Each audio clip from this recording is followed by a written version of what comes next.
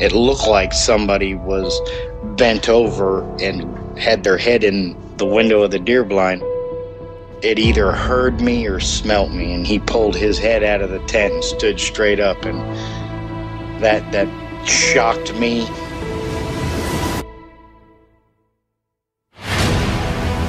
They don't make people that that big.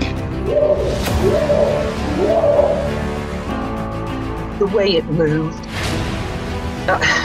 almost as if it was gliding across the beach. I've never seen anything move like that in my life. They were screaming at each other in gibberish. It sounded like a language, and they were chuntering away back and forwards, back and forwards, back and forwards. I know what a bear looks like, and there is no way on this planet that what I saw were bears.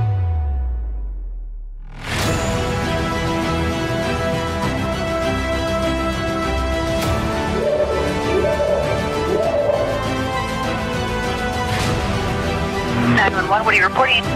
Jesus Christ, you better. Sir? Gio, Hello? get somebody out here. What's going on now, sir? That son of a bitch is about six foot nine, I don't know. Do you see him now, sir? Yes, I'm looking right at him. Uh-oh.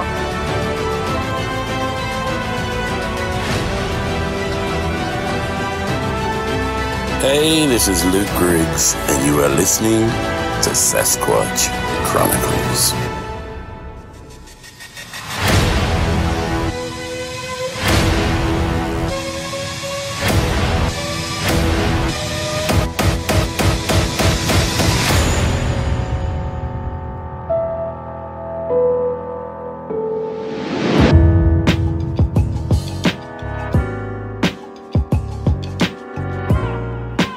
Welcome to the show, everyone. Thanks for being here tonight. Got a great show planned for you.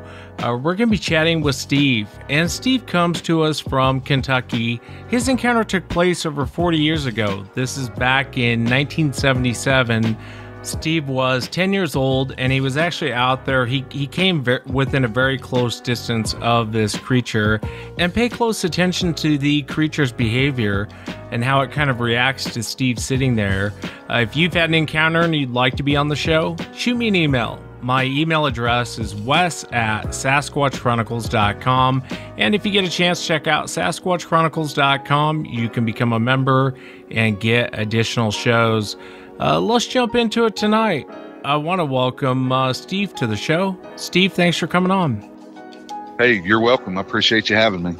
Yeah, I appreciate you being here, Steve. And I know your encounter again took place back in 1977.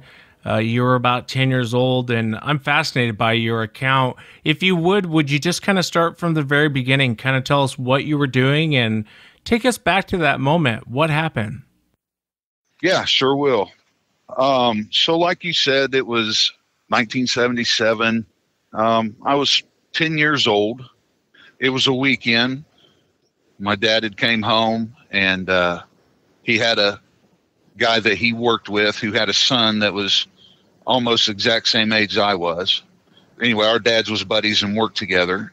They wanted to take us to their family property to go do some what we we called it stream fishing. Some people called it a stream. Some people called it a small river. Um, real nice shale, spring-fed river. Um, you know, lots of sandbars, very clear, clean water.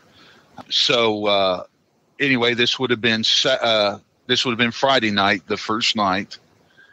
We set up camp on a sandbar. We'd been fishing all day and just had a real good day of fishing. So we'd set up on a sandbar and we had two tents, me and my dad in one tent, him and his dad in the other. Me and the boy had ate a lot of s'mores. And um, so, uh, needless to say, four or five hours later, which would have been about 3 a.m., I just, my stomach was tearing me up. So I just got out of the tent. I went over and sat in one of the chairs and I was grabbing some smaller stuff to put on the fire. It would had basically died down. And uh, so I threw some smaller stuff on it and it was just starting to light up a little bit and I could start seeing. And um, I started hearing the best way I can describe it is imagine if you were walking in water that was oh about knee high and you was trying to be fairly quiet but every time you step you you, you kind of get a, a swish swish swish. So i start hearing this and that's the first thing that popped in my mind. I was like well what is that sound? You know? Next thing i know there he comes. It's, it's right in front of me you know? I'm sitting here with my jaw hung open and uh, it's still standing in the water and it walks right over to where we have two different fish baskets. One fish basket is a round panfish wire mesh basket like you could buy at Walmart or anywhere. And then the second trap uh, the second basket was a live trap, a humane trap like you would catch a possum or raccoon in and go turn them loose somewhere else. But we had turned it into a uh, a uh, a fish cage for catfish because it was about three foot long and about a foot by foot square. So it reaches down, pulls up the round basket, the one with the panfish in it, sets it down, back down in the water, turns his head, kind of looks at me, picks up the second one, looks at the basket, looks back at me, and turns around, and starts walking back out to water. I can hear the sound leaving, and I don't know what happened. But the thing that got me was, and I'm not saying this is, you know, mind speak or any anything like that, but I just got this feeling when he held that second basket up and he looked at me. It was like, um, "Hey, I'm taking these fish, please and thank you." And he turns around, he starts walking away, and um, so I'm like, just trying to process this all. I, I, wasn't scared. I didn't feel threatened in any way, but I was still 10 years old. So I go back to the tent and I go back in there and lay down. So uh, we get up about two or three hours later. I, I didn't go to sleep. I just kind of laid there. And so, uh, so my dad got up and uh, I told him what had happened. And he told me not to tell anybody, not to tell the boy or his dad, and that he wanted to talk to me about it when we got home before I said anything. So anyway, the the boy goes over and he says, "Hey, we're missing a fish basket." And so my dad chimes right in. And he says, "Hey, uh, you know, it's, it's probably one of them big snapping turtles we've been seeing around here. They probably come up and latched onto it and drug it out into one of the deep holes and trying to, you know, get in there and get the fish." So, you know, that was that. So when we got home, my dad asked me, he says, uh, so what happened? And I told him, I, I said, I seen a caveman. And so he said, a caveman. He kind of chuckles a little bit, you know, kind of like he wasn't expecting to hear that. You know, my dad was not, he, he, he was, he was a good dad. So, uh, he was listening to me. See, he said, his eyes got all big. He said, son, you seen a Bigfoot? I said, oh no. I said, it's, it's not a Bigfoot. It was a caveman. And so anyway, so he was like, "Yeah, well, I think they're the same thing." Well, like I like I had talked to you earlier and said, you know, I was born in 1967. Um, so I grew up with, I guess, what's known as the Patterson Gimlin film. And that thing on the Patterson Gimlin film looked way more apish, I guess I could say, than what I seen. What I seen looked like that uh, Sykesville monster. And I had looked that up. I thought that was in Kentucky, but that was in Maryland, that Sykesville uh, monster sighting. I seen that picture on a website, and that is uh, really, really close to uh, to what I seen. Uh, like I said, this thing had a little bit of a neck um, it wasn't just like a bowling ball sitting on top of a refrigerator, so to speak. But it was large. Um, it was kind of hunched over a little bit. Uh, did have kind of long arms, and it was hairy, but it wasn't um, like a real thick fur or hair, like say like a bear would have. But uh, oh, and it had its eyes. It had eyes like a human. It had white, but I don't remember seeing a, a pupil, but I remember it being very brown. But I do remember it having white out around it. It wasn't like a black beady eyed rat, so to speak, you know? I appreciate you describing it. You know, I know we're going back over 40 years ago, and uh, I'll, I'll, post a picture of the Sykesville monster so people know what we're talking about uh, underneath this episode on SasquatchChronicles.com. One thing that I noticed is you kept saying he. What what made you think it was a male? Um, it was a male. I I did see that. Um, pretty plainly, it was that far out of the water anyway. Um, you know, it was. I was kind of just focused on the the upper chest and the shoulders and the head. But like I said, I mean, I did plainly see that it it was a male. Yes. You know, Steve, I interview a lot of kids off the air, and uh, their parents will put them on the phone. They'll describe what they saw, and, and one thing that's very common is most kids don't freak out when they run into these creatures. Uh, they they just don't have the the fear I think that most uh, adults have when they run into these creatures. Um, what what was kind of going through your mind? I mean, what did you think as this thing was kind of walking in your general direction, coming up, taking your fish? What was kind of going through your mind at that moment? Wes, I tell you, um, just about the best way I can explain it was it looked like what we've been taught a caveman or Neanderthal. One of, you know, it, it looked like something like that. I mean, it just, it did not look, I mean, and I call it a he, and I don't call it an it for a reason because what I was looking at, it seemed like it was very smart. You know, everything was uh, that it did was was very intentional very graceful. I mean, it was just uh, very. It was a very smooth running machine, and uh, um, I just thought of a caveman. I mean, that was the only thing I could think of. And, and you know, and, and I, like I said, I had seen the Patterson Gimlin film, and it just didn't look anything like that. That's what I considered a Bigfoot to look like. That's why my dad was telling me, he's like, no, that's a Bigfoot. I said, no, it was a caveman. you know. So after he talked to me a little bit, you know, we got figured out, and I was like, oh, okay. I mean, I just thought it was a caveman, and and I think maybe since I was a child, that it knew I wasn't going to do anything or try anything. If if that happened to me uh, this next weekend, I'd probably uh, die of a heart attack. You know. Yeah, without a doubt. I think most of the time the reaction of a child versus the reaction of an adult uh, are vastly different when they run into these creatures. Um, how far away from you was a creature? I'm saying 20 feet because, and again, this was just a guesstimate uh, from my dad because when we was coming down the creek, he says, "Hey," he says, "that sandbar's got to be 50 foot wide."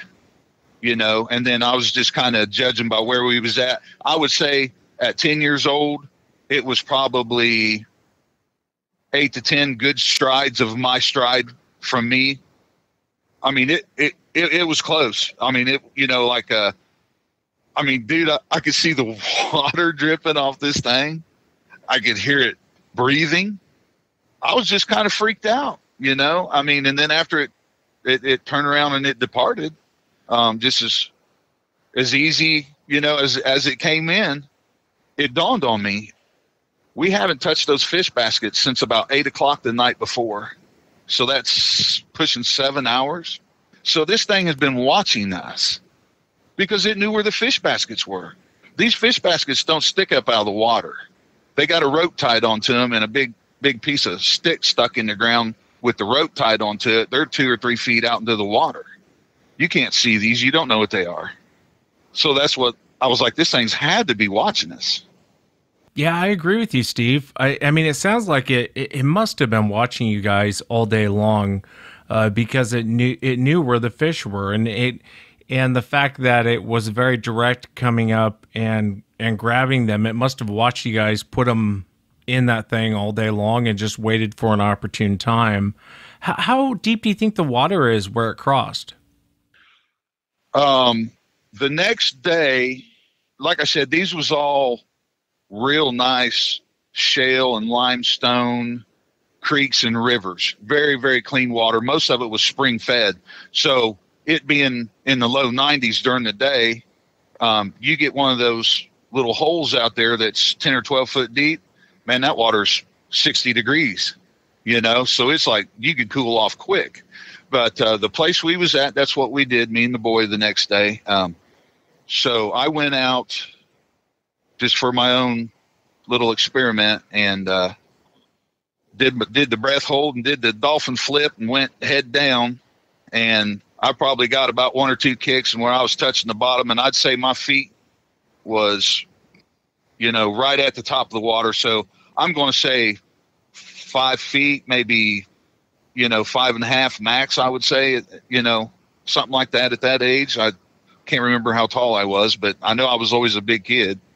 But so anyway uh, where it was standing at was almost was up bet- almost to the bottom the top of my belly and this thing here it was just below its knees you know like i said i could see it was a male so you know he's he, he was definitely a lot taller than i was so I'm really fascinated by your account.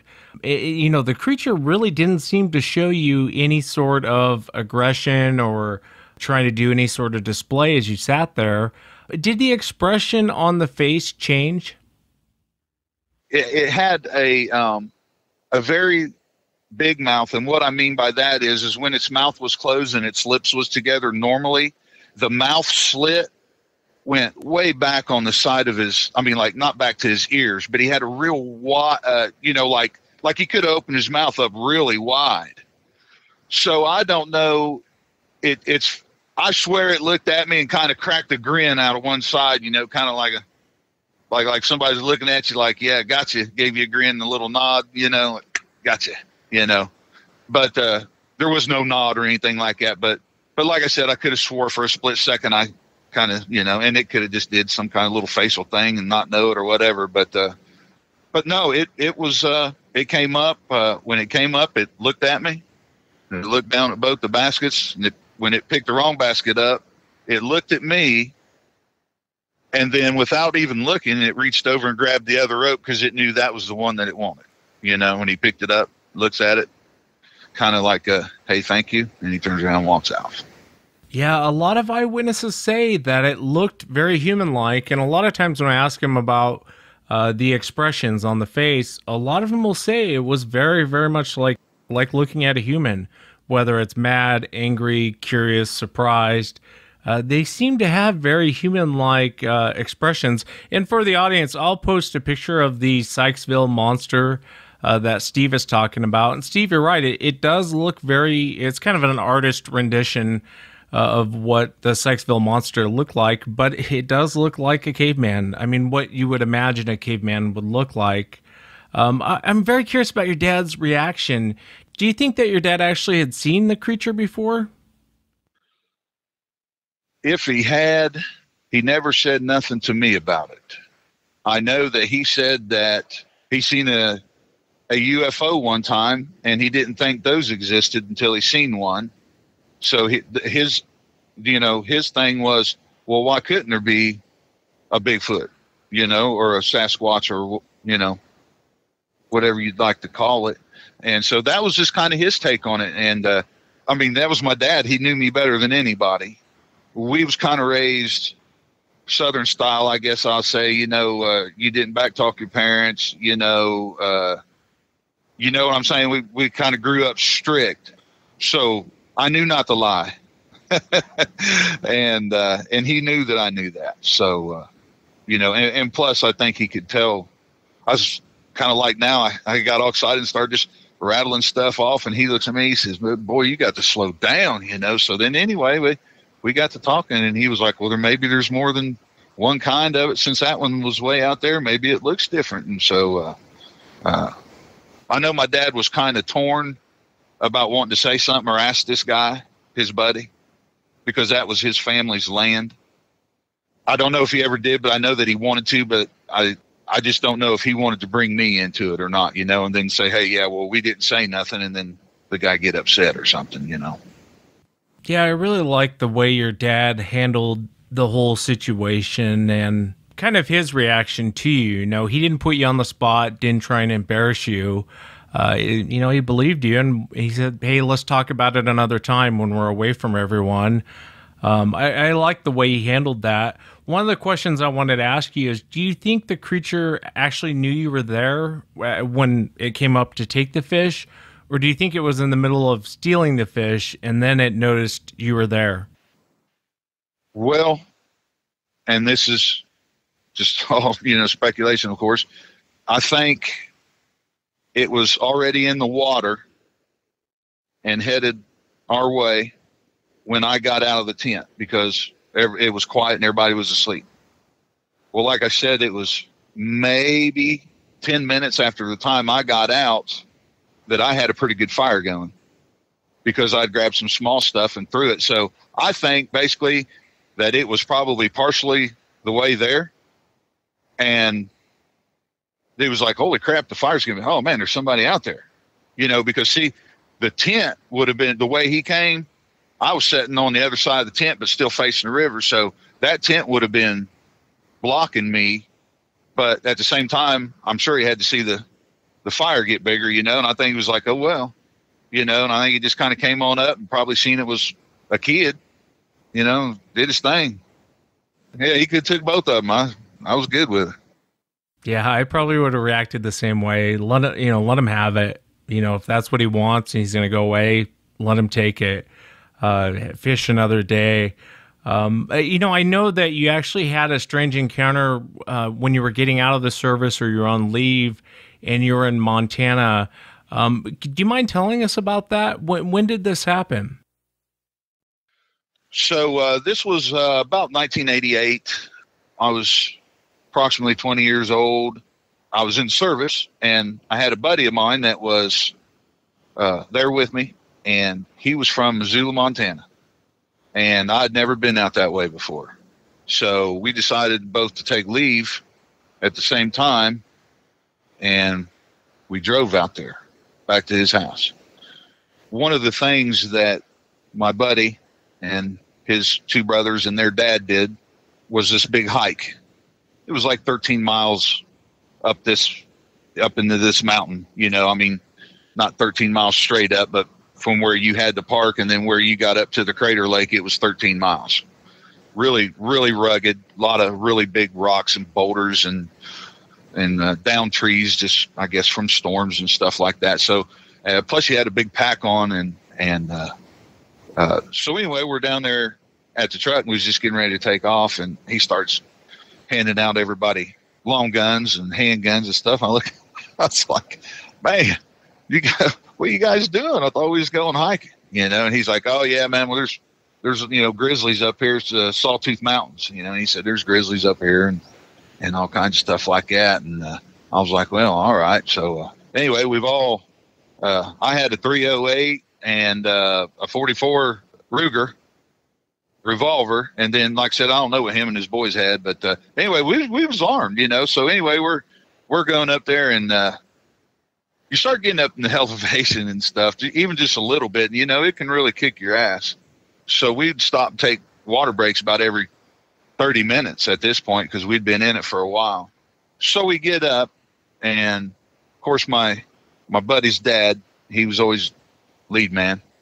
So he gets up, everybody gets packs on. We take about two, or three steps, and he he does this move.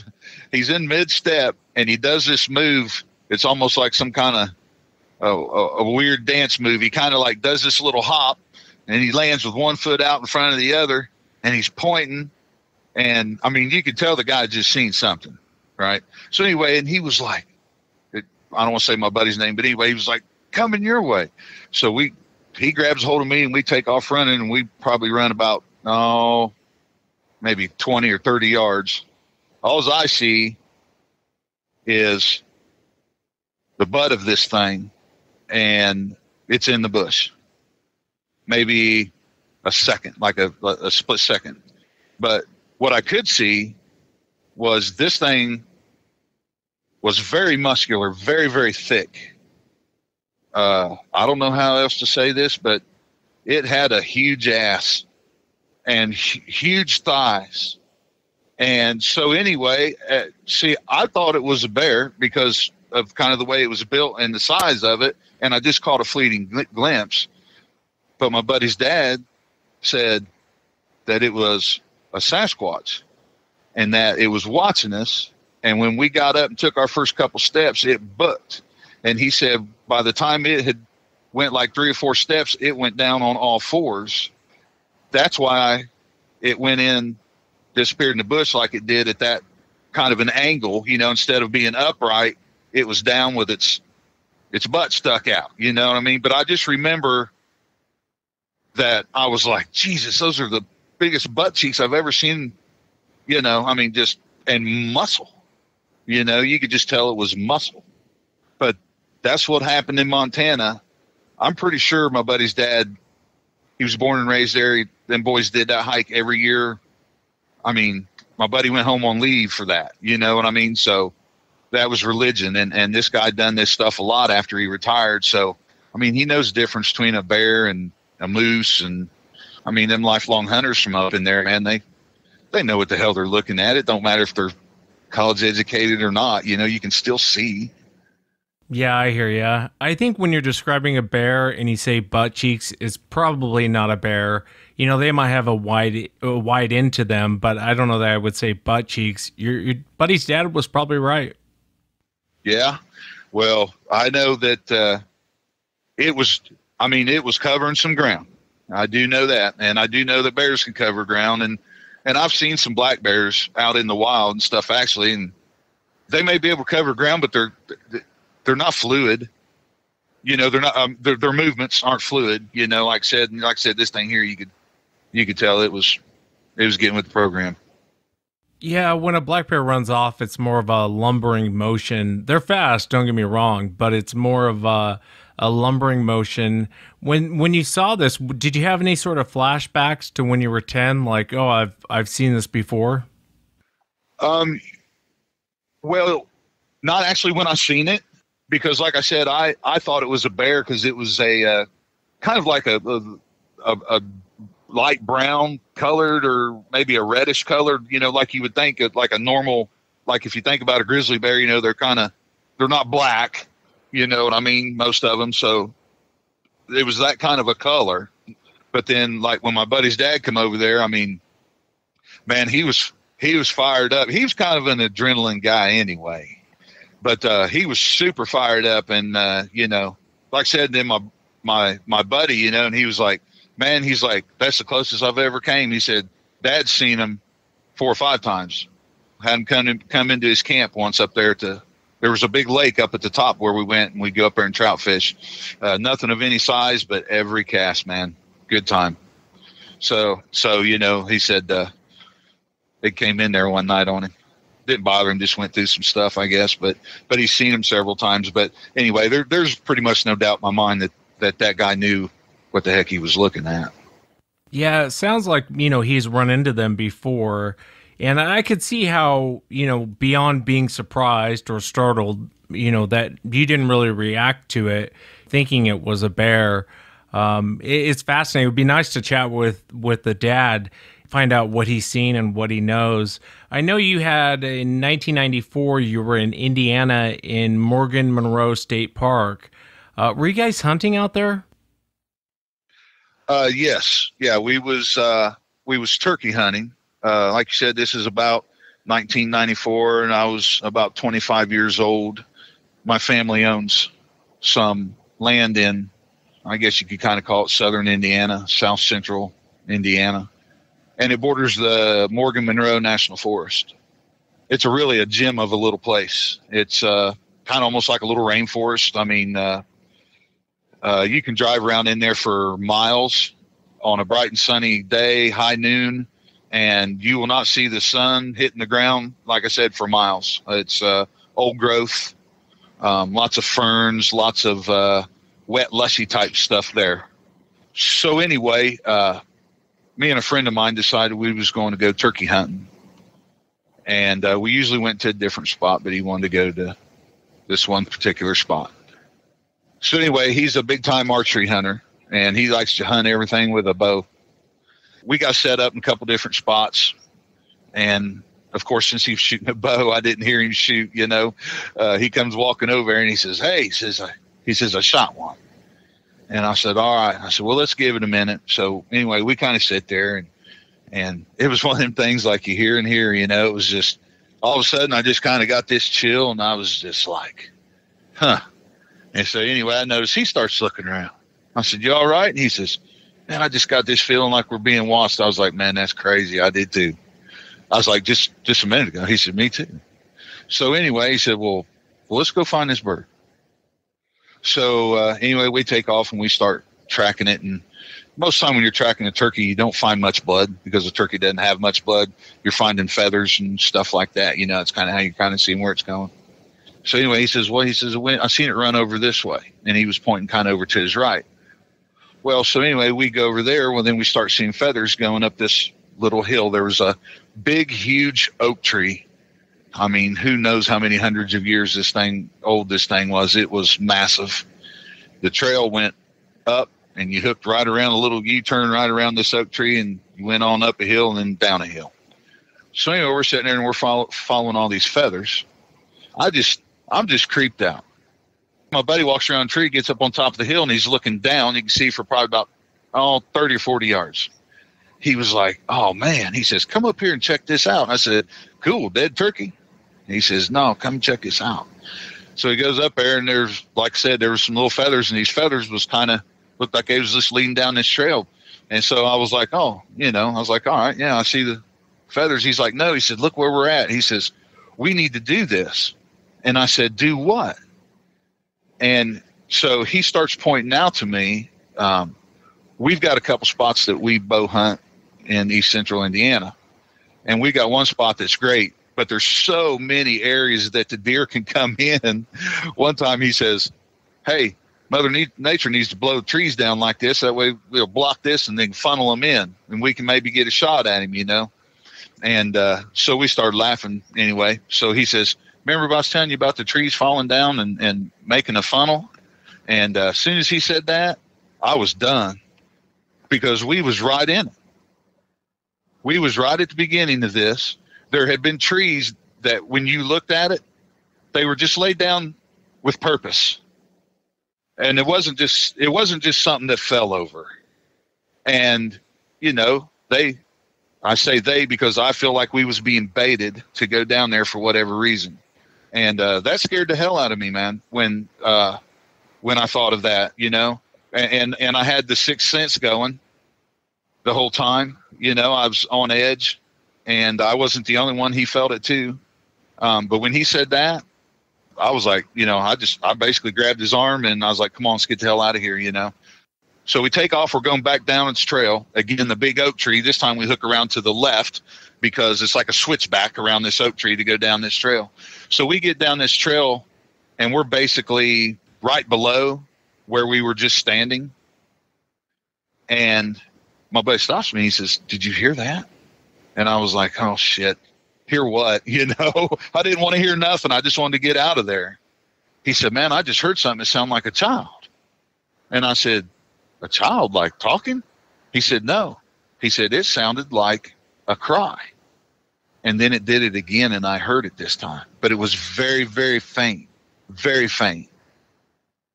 And I was told, I, man, I pushed, he was in front of me. I pushed him. I said, you get your Honda in down this trail. We are out of here. And of course, you know, he was like, well, hey, man, there could be somebody hurt up there. I was like, man, just go, you know? So we got down to the bottom, and I just kind of laid it out to him like I did you you know, and I told him what was going on. I said, man, there's something trying to get us up down in there. I'm telling you. That scared the hell out of me, and that that kind of changed things on what I think about Bigfoot and Sasquatch. I mean, I definitely like like the one I seen may have been very very human looking, but man, who who knows how how it acts? It could act it could act just like some savage animal. I mean, I think maybe this some animals when they see a child or something small, they think of prey. You know, they get that prey drive going. And then I think some of them's kind of like, hey, this guy ain't gonna mess with me. He's just a child. Yeah, it could be. It could be that they don't see children as a threat. I still don't trust them one bit around kids or anyone else for that matter. Um, you know, the the hearing the children crying or children laughing, that gets reported a lot. I've talked to many hunters, hikers, and I'm not sure if it's Sasquatch doing it or not. I mean, it, it seems like when they're around, this sort of thing happens, like they're mimicking a child crying or uh, children playing, uh, that sort of thing. Uh, it makes me wonder, you know, what do we do as hunters? We have game calls and we use game calls to lure in our prey. And it makes me wonder if they're doing the same thing. Uh, what are your thoughts? Absolutely. Um, uh, it did not settle with me, and it and it still does not settle with me well at all. That made me uh, that made me really scared, and uh, and I I've been in some pretty nasty uh, situations. I mean, you know, I've I've I got I've been shot, I've been stabbed. Uh, you know what I mean? I I've, I've had all kinds of crazy stuff happen to me that was life threatening, and and I've been in some really bad situations, and and none of this this, was just like a different type. Uh, when you feel like prey, when you feel like you're being hunted, man, that that's a whole different game. Then I don't care who you are it scares the hell out of you.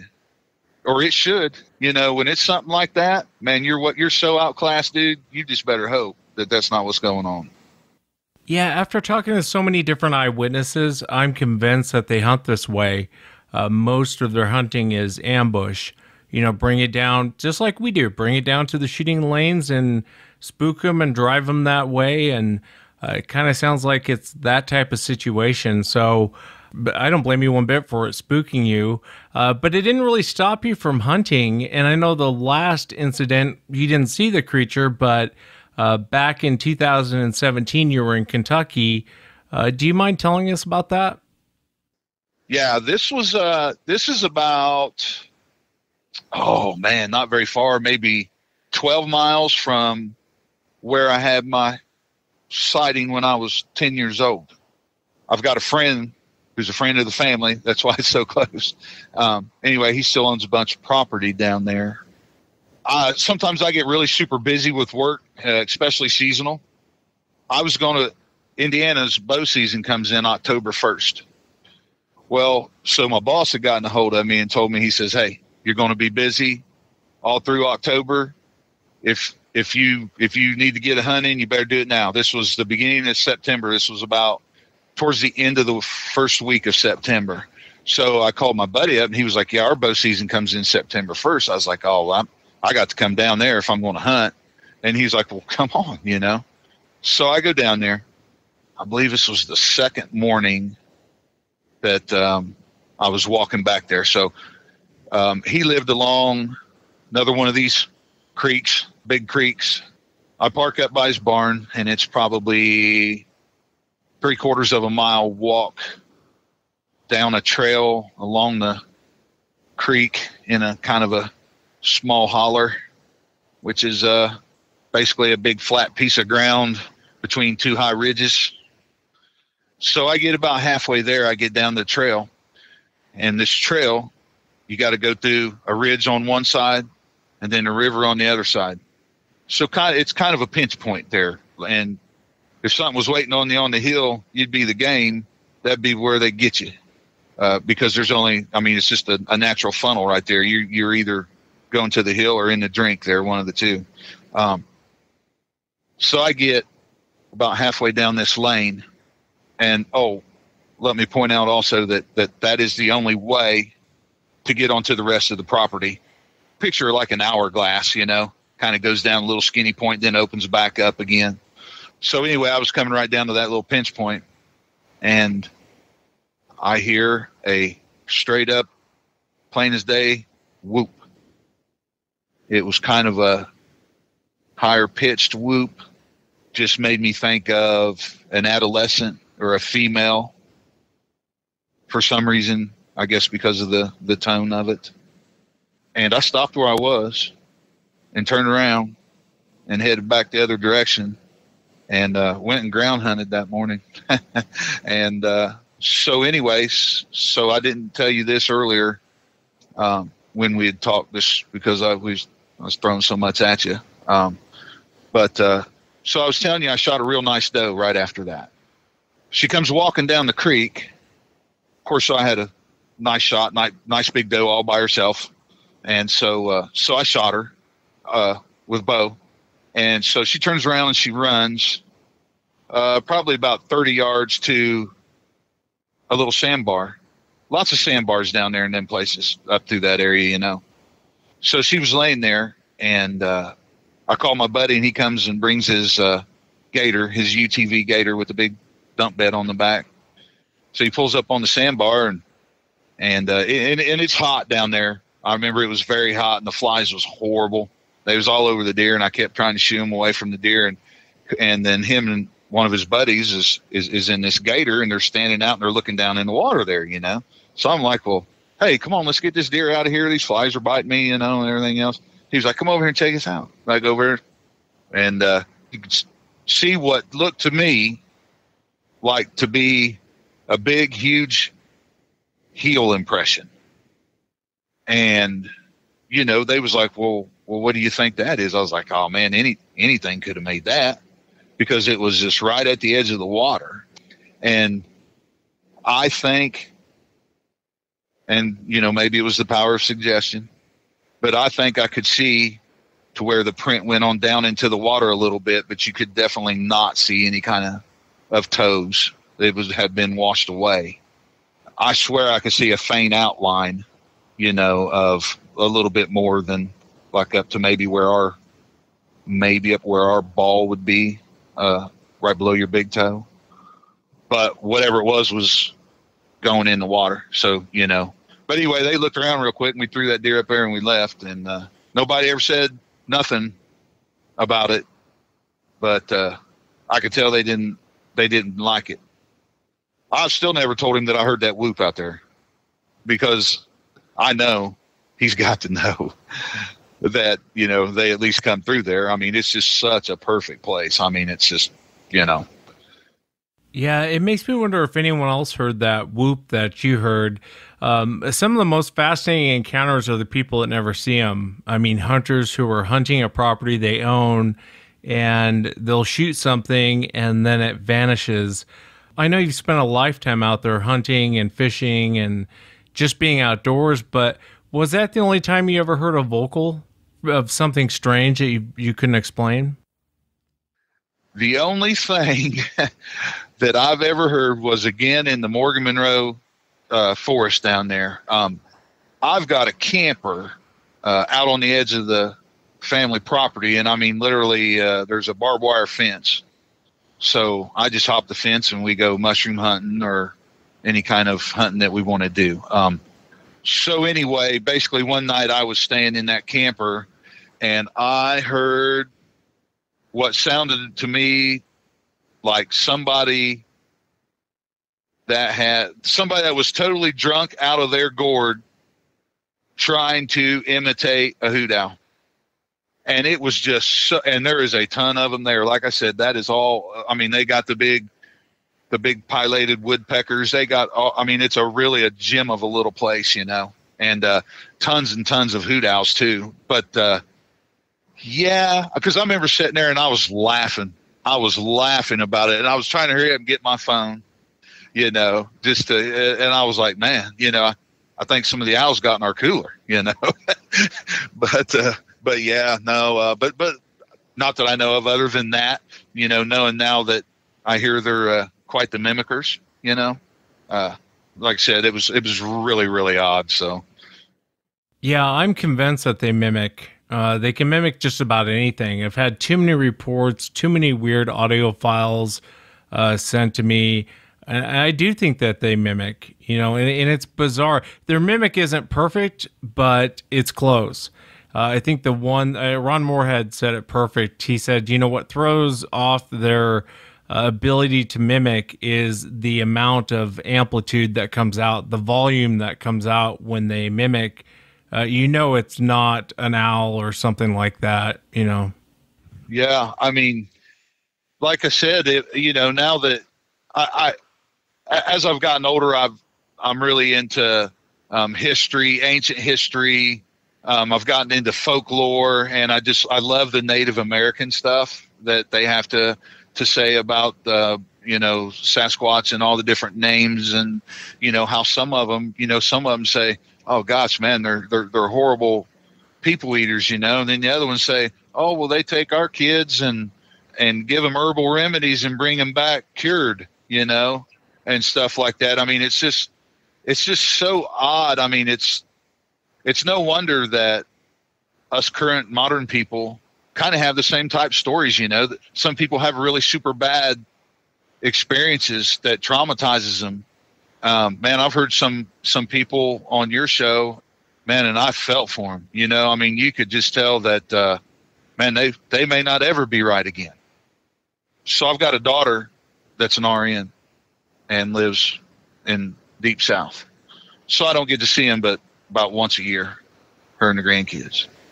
And she's the one that pointed out to me that, you know, I was being very forgetful and, and stuff like that. And and so so that's kind of how all this came about. And she loves your show. And so she was telling me about it. And she was like, Oh my God. She's like, Are you kidding me? Who's got a story about Bigfoot coming and stealing their fish? And I was like, Well, I guess maybe you're right. And she's like, no, you got to. She's like, people need to know this stuff. That way, it's a chapter in the book, and we can learn from it. We, we're learning more about what they really do and who they really are instead of just seeing one running across the road or or something like that. You're learning a personality type thing. You know, you're you're learning something about that critter. Yeah, you do learn a lot. You know, when, when people like yourself, Steve, come forward and share what happened to them uh, you learn a lot listening to encounters. You learn descriptions and behaviors, and there's a lot to take away. And shout out to your daughter for listening to the show. Uh, God bless her, you know, and, and her sending you my way. Yeah, yeah, for sure. And uh, and like I said, I mean, I I really had no plans of ever doing anything like this. Um, like I said, I just my family knew my very very immediate family uh, and one of my hunting buddies. And uh, like I said, he was he was the one that uh, you know he was like it's like I told him I said, hey, you know, if, if I come up and I look you in the eye and I tell you something, you gonna believe me? He said, yes, I do, because I've known him 45 years, you know. And uh, he said, I would absolutely believe you. Take it to the bank, you know. And I said, well, uh, why don't you believe me about this? He said, man, I just got to see it.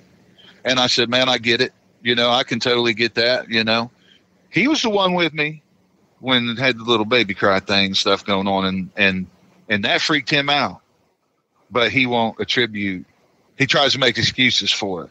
I could have been a tree cracking and bending and making that weird little squeaking noise. I said yes it could have been. But uh, i don't think so because it didn't sound like no tree to me. It did it twice from the same spot from a spot that i think they was trying to get us to. And that was not cool. That was not cool. I mean you know so now I'm a little different in the way I think, I guess, about some of them anyway.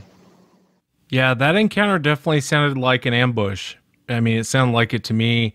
Uh, you know, one question I know you're kind of a new listener to the show, Steve, and one question I always like to ask everyone, and there's no wrong answer because no one knows. Uh, but what do you think that these creatures are? Wow. Um, well, I think they are, as they say, flesh and blood. Like I said, because I had one stand in front of me with water dripping off of it. I think it's totally physical. I think if they was just just some sort of a a branch off a hominid or a hominid, hominid, you know, if they was just some kind of a simple ape or whatever, we would definitely already have known about them and had them in captivity for years, just like we do everything, every damn thing else. You know, I think uh, so. I think they're much more than that. And like I said, what I seen, you know, I'm not even going to call. I don't even want to even call it a critter, but you know, uh, what I seen is, you know, what I seen. It was very man-like. Um, who's to say what they are? You know, everybody's like, well, one day we'll get one. We'll have this. Man, I'll tell you what. I think they've been. I think the government have been experimenting on these things for years and years, you know, because you hear these stories about people hitting them. You hear these stories about them getting caught in forest fires. You know, and finding them and, and just all kinds of stuff like that. You know, oh, well, it disappeared. Well, maybe from you it disappeared, but it went somewhere, you know. And you know what? Maybe these things are so special in a way that we're not, that the government is scared to tell us that they exist because there's so much more than what we are in a way. Like I said, what I seen just looked like a classic Neanderthal caveman. And, you know, really, do we even know what a what one of them really looked like? Nope. We just rebuild the skeletons forensically wise and kind of get some kind of a of a guesstimate, you know. But uh, I, I think that uh, they've been here a very, very, very long time. Is what I think, and that's why I think there's no fossil record of them coming over from Asia. I think they've been here the whole time. I think if we're going to find any fossils, it's going to be around here. But you know, fossils are overrated too, man. There's so many things that's got to be perfect for a fossil to even form. There could be hundreds of man-like creatures that's been on the earth and died out and stuff, and we'll never know because we'll never find their ske- their skeletons or anything. I mean, it's you know, it's one of them things. Just what was it? I mean, like uh, I'm trying to think of that day going. Uh, what was that movie that was about that gal that? Uh, what was it called? E, uh, not Eve. Uh, uh, Lucy. Uh, that movie called Lucy. You know, like the more, you know, the more she got, she got where she could use so much more of her brain from some kind of a something going wrong with her. But anyway, it made her like super, super smart. You know, man. I mean, she had telekinesis, telepathy. She could shut people down. She could make them sick, just all with her mind.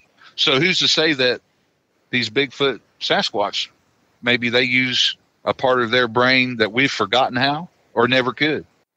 Yeah, and I really appreciate your answer, Steve. So you think it's something more natural then? I think it's something very natural. Um, but I just, like I said, I don't want to use supernatural or paranormal or anything like that because, uh, you know, I think that I think these things just know things about Earth's energy. Um, I just think that they're just like way more in tune with things than what we are. Uh, maybe it's a vibrational thing, you know, like a body vibration thing. Maybe maybe they can change the frequency, you know, of their body, and that's how it kind of looks like. Maybe they can cloak or some of the stuff like people are seeing. You know, maybe they can. You know, I mean, hell, who knows, right? Nobody. so, I mean, but yeah, man, that's my long-winded answer. But um, I, you know, I want to think that there's something natural, and that's what I think. You know, I mean, could they have been peaked and tweaked genetically by somebody or something or whatever? Absolutely. But uh, I, I just feel like they're very old. I feel like they're very ancient. You know, that's just what I feel like. I mean, they're kind of distributed all over the United States, and you know, I think any place that will support them yeah, it, it's it's a fair answer, Steve. I mean, no one really knows, and that's really why I love that question because there really is no wrong answer, and you get a lot of very thought provoking answers to that question. Uh, hopefully, one day we'll know, you know, what these things are, and um, you know, I can't thank you enough for taking the time to come on and and share what happened to you.